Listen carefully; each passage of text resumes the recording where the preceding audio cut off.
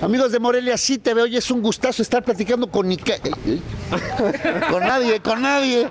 Amigos de Morelia, sí te veo. Hoy es un gustazo estar con el amigo Icaica. Él es coordinador de un gran evento cultural y de poesía que se llama... Eh, Palabra en el Mundo, novena edición. Eh, ¿Y con quién? Maribel Arriola. ¿Y tú qué te dedicas aquí? Bueno, soy organizadora, soy parte de la organización de este evento, que además es un evento internacional, eso es importante mencionarlo, y que por segundo año el Núcleo Cultural Morelia Nueva Valladolid lo está organizando en esta ciudad. ¿Y con quién? Con Salvador Chávez, eh, la primera vez que nos eh, reunimos con este grupo. Nosotros tenemos un proyecto que se llama La Lectura es Cultura, que mes con mes traemos escritores y en esta ocasión hacemos parte de este fabuloso proyecto. Perfecto. Y Caica, a ver, platícame, ¿cómo es la dinámica, el- el- la onda aquí para, para organizar todo esto? Bueno, eh, para empezar, eh, aquí en la ciudad de Morelia es un festival eh, sin fines de lucro. De hecho, no tenemos recursos, no hay recursos por parte de ninguna institución de ningún tipo. Prácticamente los recursos vienen de, de nosotros mismos. Y asimismo los artistas que participan eh, no cobran ningún tipo de recurso por participar en, en el festival. O sea, por el placer de ser, de que vean su obra. Eh, por la paz, ¿no? Como lo dice el nombre del evento, ¿no? Festival Internacional de Poesía Palabra en el Mundo, eh, eh, por la paz. Entonces, eh, súper agradecidos. Hoy es nuestro penúltimo día con la gran alegría que tuvimos más de 100 ponentes en esta edición. Perfecto. ¿Cuánto tiempo dura el, el festival? Eh, es variado, ¿no? El año pasado tuvimos 11 sedes en 6 días. Ahorita tenemos 12 sedes en 8 días.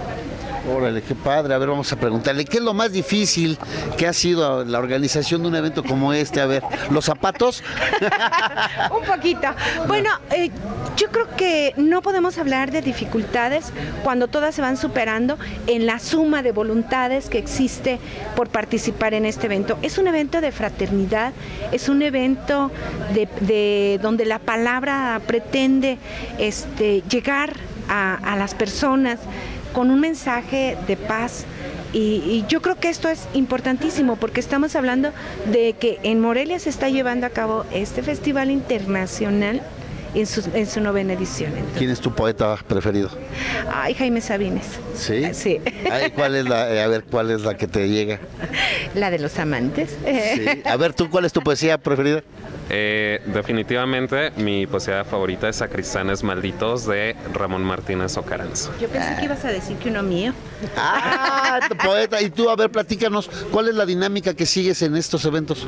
La dinámica que estamos haciendo, en este caso como organizador, eh, poner una sede, conseguir el lugar, conseguir los participantes, obviamente darle difusión al evento, eso es lo que estamos haciendo nosotros en este año como parte de la, de la organización. Oye, ¿y la poesía cómo andas?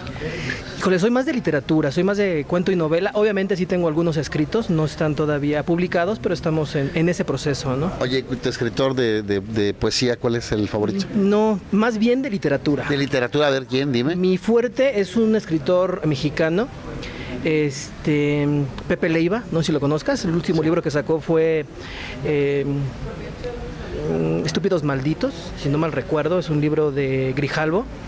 Eh, y me identifico mucho con esa obra porque habla de la Ciudad de México y de Cuernavaca, dos lugares en los cuales yo he vivido. Y la historia se trata de cuatro imbéciles que, que por error matan a una persona. Y pues bueno, se da una circunstancia que se da en Ciudad de México y en, Y en la ciudad de la eterna primavera. Y en la ciudad de la eterna primavera. Y curiosamente se dan en lugares donde me tocó vivir este, mi adolescencia y parte de mi infancia, que fue eh, Cuernavaca y Ciudad de México. Entonces, es uno de mis autores por ahorita, eh, de mexicanos de, de gusto, ¿no? El gusto, perfecto. Oye, pues bueno, mándale un saludo e invita a la gente antes de que se nos vaya la luz a tu próximo evento. Este, pues bueno, un, un saludo eh, para todos este, los televidentes.